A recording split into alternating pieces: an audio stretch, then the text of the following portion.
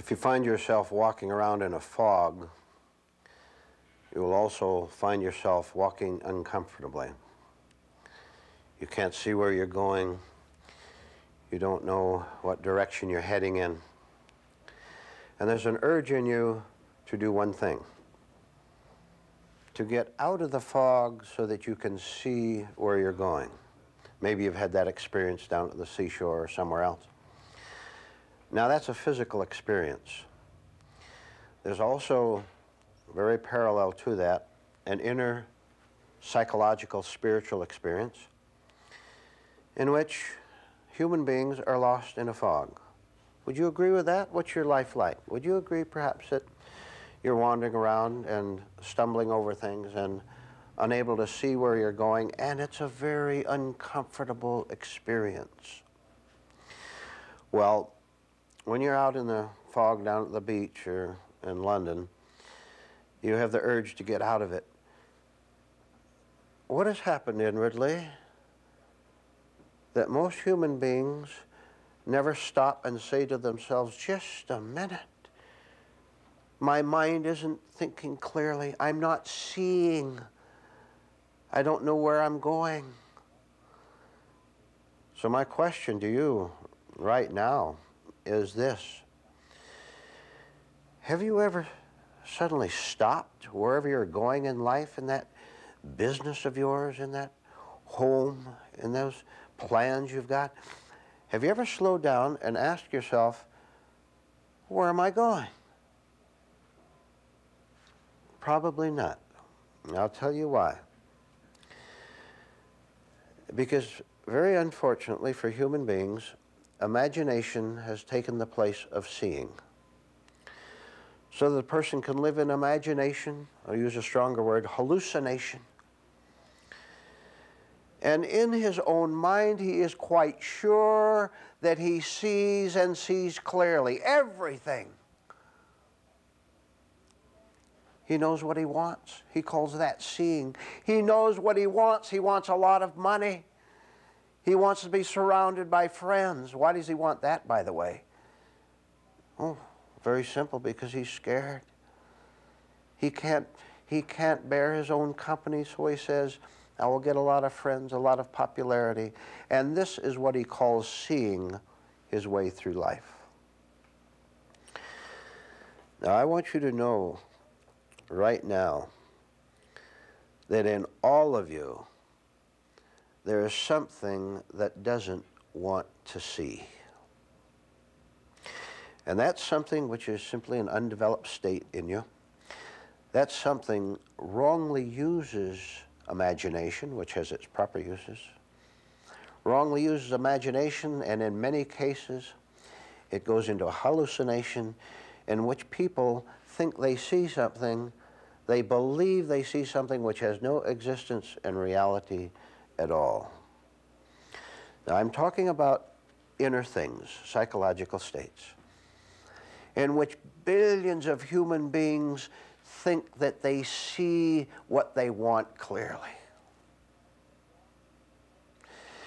And all the time they're walking toward it, they are stumbling and falling down. Let's see what that means. Stumbling and falling down and hurting yourself. Ah, you cried today, didn't you? Of course you did.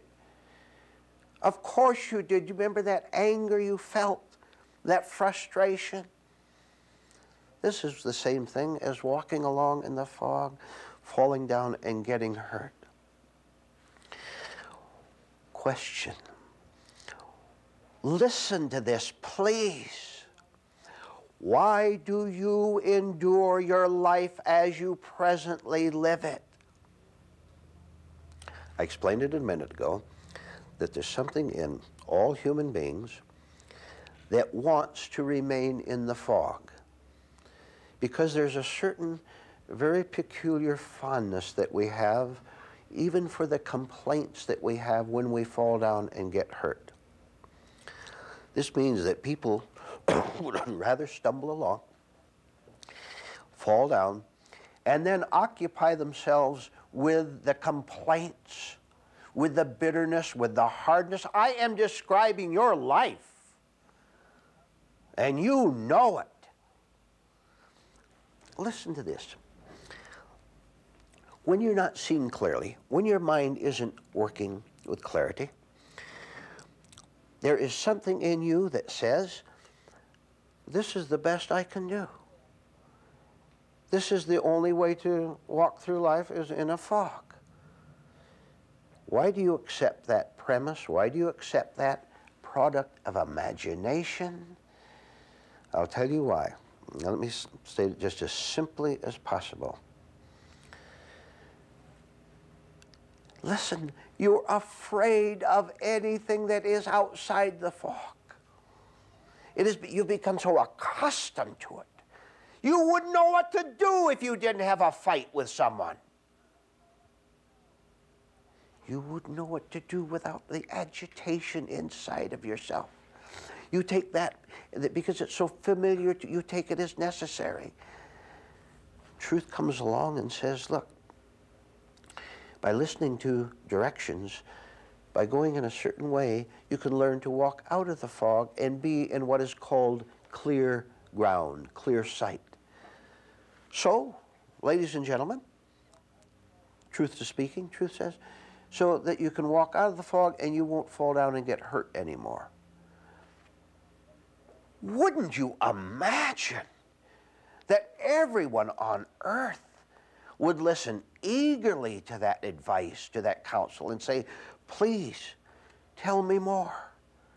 Give me the directions by which I can walk out of my pain and my repressed agonies. Please tell me how I can walk out of it so that I can get rid of all my troubles. Wouldn't you think that everyone on earth would say, show me the way out? No. And you haven't yourself. Those of you listening right now haven't done it yourself. Because, as I said earlier, and we'll go back to it now, because of the wrong working of your imagination, which you think is reality. Look, listen, Look at all the plans you have for the future. All those ideas you have in which you're going to what? You fill in the blank. In which you're going to get married or get unmarried. In which you're going to go somewhere else. In which your business enterprises are going to work out. Or you're going to do something is going to come into your life that's going to change things. Anytime you depend upon your present imagination, which you're doing, when you depend upon that to give you something, let me tell you what you're going to get. One thing. And you prove this for yourself all the time. You're going to get more of yourself. Imagination, empowered by false desires, tells you that you're going to be happy when? Next month, when that event takes place. And all the time you live in the false pleasure of the hope of something happening tomorrow. And so this is the way you spend, or rather misspend, your life. And you do it repetitiously over and over again, not seeing the, how the combination, listen, this is very important to you, not seeing how the combination of false desire and imagination, when they come together, they produce what is called your life. Come on. Describe the quality of your life to yourself. Do you have the courage, right, while you're listening to me right now? Do you have the courage to describe your life to yourself? Real honestly? honesty what it's like. Shall I do it for you? All right. You're desperate. You're scared. What a, what a terrible life it is to live in a state of desperation, of being ashamed of yourself, covering everything up. Now look, as long as you don't understand that you are indeed walking internally in a fog, as long as you don't understand it, you can't change. Look what you have to do then. You have to study the fog. You have to study the results of it. And then you make up your mind whether you want to continue with those tragic results or not. I'm going to tell you something very clearly. All of you, every one of you. If you choose, if you want, starting right now, if you wish, you can say to yourself, sincerely as you can, say to yourself, I no longer want to pay the price of walking in the fog. I will have the courage to see whether there is something else in this universe besides me. Oh, I see. Maybe you didn't understand something. Maybe you don't understand that you, your present inner nature, the way you think, the way you act, the way you respond, maybe you don't understand that that is the only life you presently have and that is the cause of all your pains. Maybe you don't understand that you have clung to your repetitious habits, to your love of pain. Let, let me repeat that one. You have clung to your love of pain because you don't know that you don't have to. I am telling you now, very clearly, very directly, if you want to get rid of your desperation, get rid of your fear, which is the whole story of your life, you can do so. See, it has been set so plainly before you. You no longer have an excuse for walking and stumbling in the internal fog. All your excuses have been blasted aside. So that now, instead of an excuse you've used in the past, you have to make a choice. Why don't you simply say to yourself, all right, the description of my life is accurate of what you've said is true of me. I don't like to admit it. Of course, our vanity and conceit doesn't want to admit how bad off we are. We always resist, we always fight. Why don't you go against your usual life? Why don't you do something utterly unique instead of cooperating with what has been knocking you down? What has been causing you to stumble so badly, instead of cooperating with it, why don't you cease cooperating with it? Now, what that means is a long, long story in itself, but I'll give you a brief idea of it. To no longer cooperate with the fog and with your, your false love for it, to no longer co cooperate with it, means that you say, just, I said it before and I'll say it again, just a minute Look around where you are, see how thick the fog is in front of you and back of you. And you see all the other people wandering around in it that you bump into, and you say, just a minute. I've been back to this tree in the fog a thousand times. I've been back to this rock. That means that I've been wandering in a circle. Any human being on earth who doesn't want to suffer anymore doesn't have to.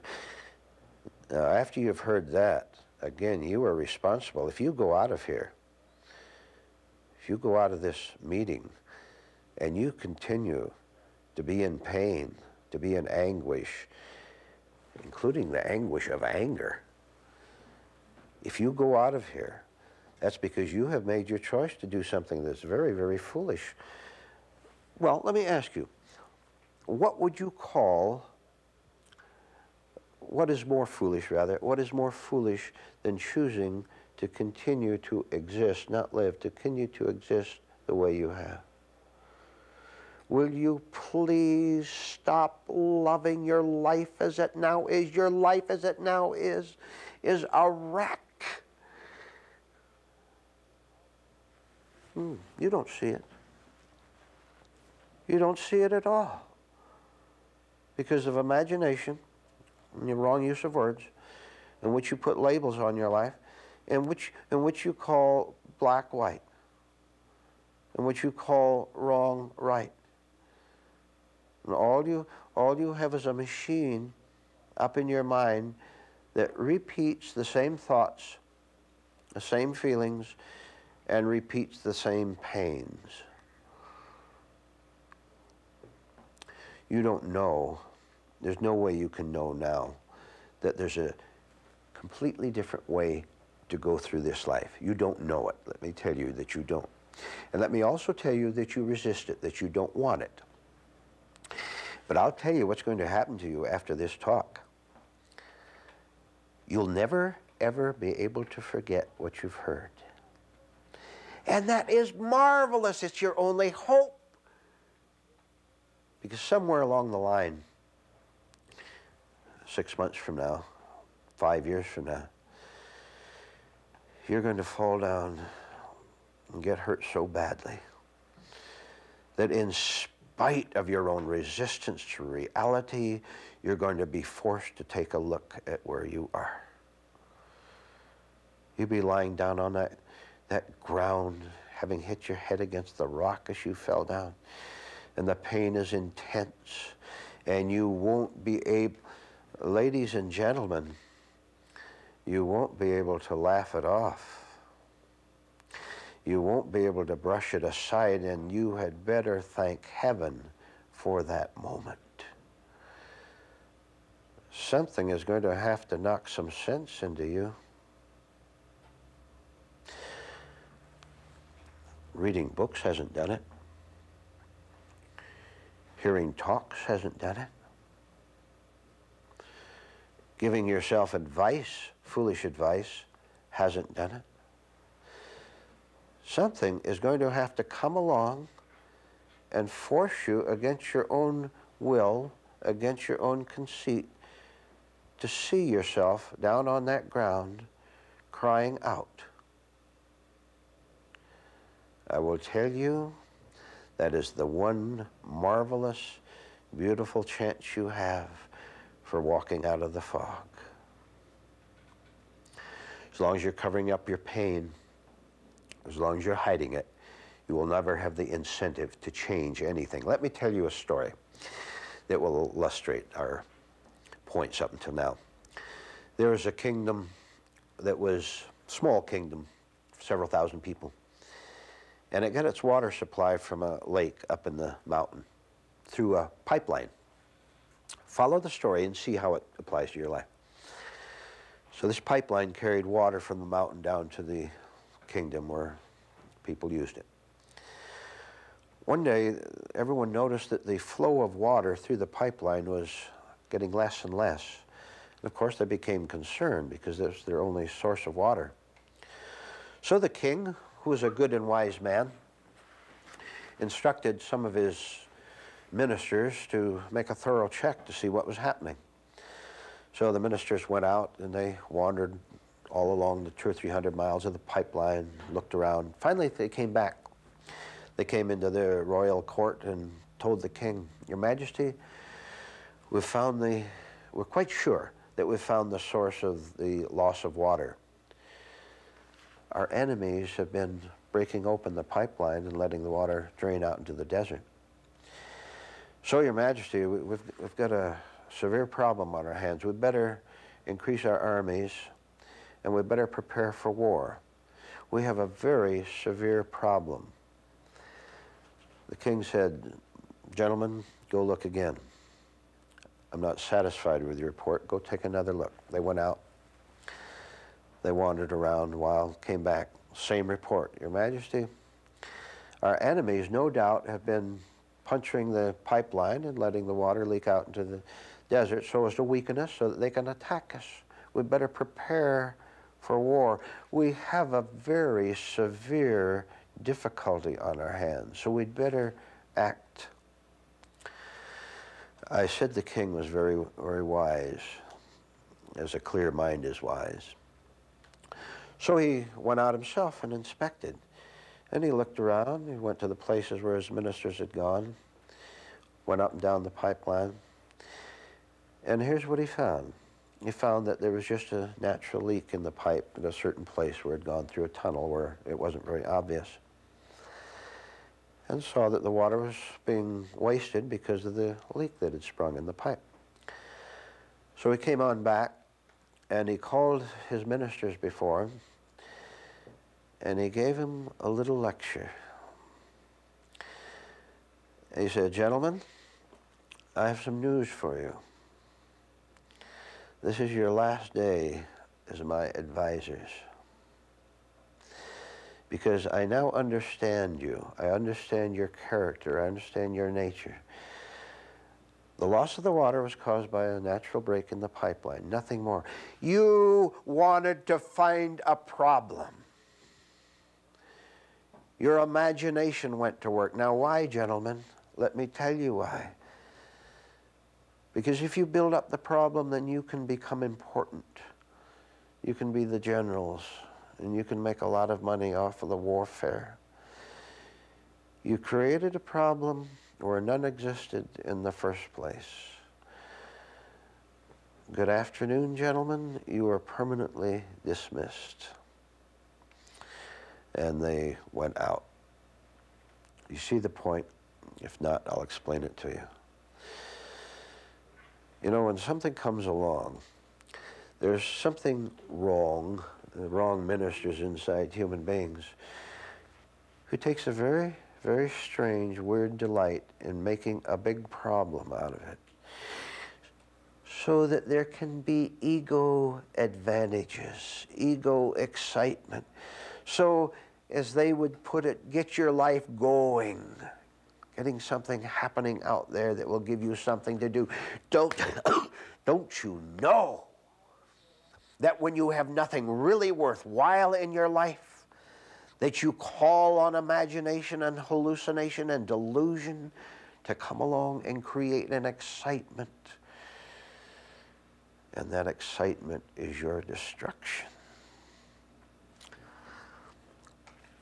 That king was very wise.